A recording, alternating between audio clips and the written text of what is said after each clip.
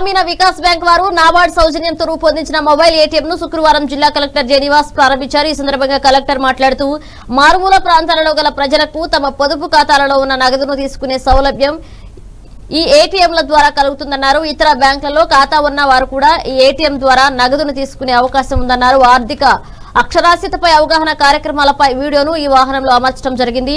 దీనివల్ల ప్రజలకు ఆర్థిక అక్షరాస్యతపై పూర్తి అవగాహన కలిగే వీలు కలుగుతుందన్నారు.